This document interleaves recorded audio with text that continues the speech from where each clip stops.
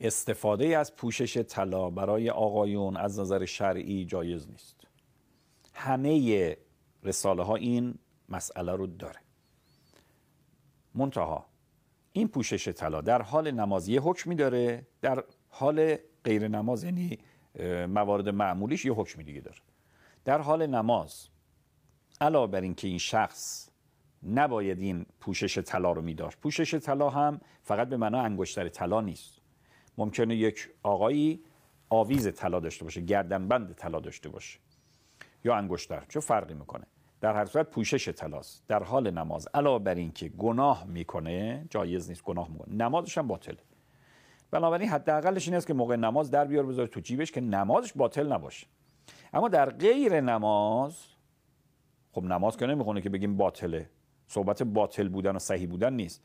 در غیر نماز صحبت این است که گناه برای او می نویسند یعنی کار حرامی است. احتیاط هم نیست فتوای سریحه کار حرامی است. خب ما مسلمانی مقیدیم به احکام دیگه. این احکام هم گاهی متفاوته. برای خانم ها استفاده طلا هیچ مانعی نداره.